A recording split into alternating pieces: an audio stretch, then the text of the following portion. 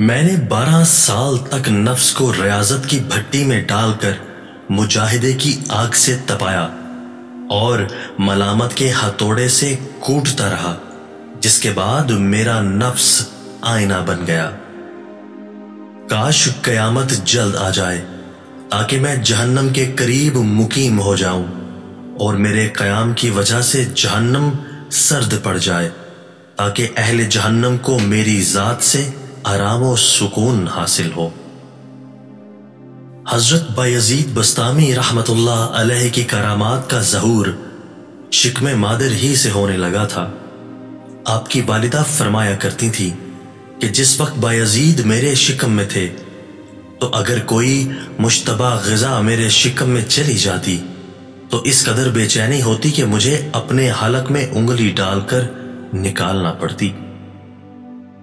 हज़रत बयजीद रहमतुल्लाह अलैह बारह साल में मक्का मुआजमा पहुँचे, लेकिन हज के बाद मदीना मुनव्वरा तशरीफ़ नहीं ले गए और फरमाया, ये कोई माकूल बात नहीं कि मैं हज के तुफैल मदीना जाऊँ। मदीना की जयारत के लिए इंशाला फिर कभी हाजिर होऊँगा।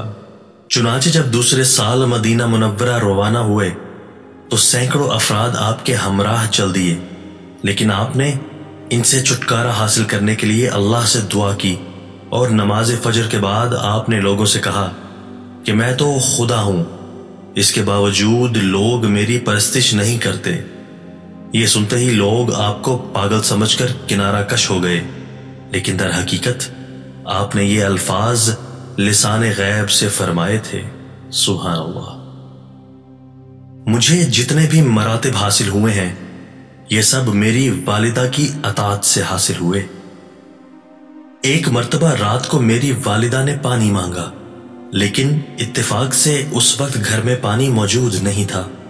चुनाचे मैं घड़ा लेकर नहर से पानी लाया।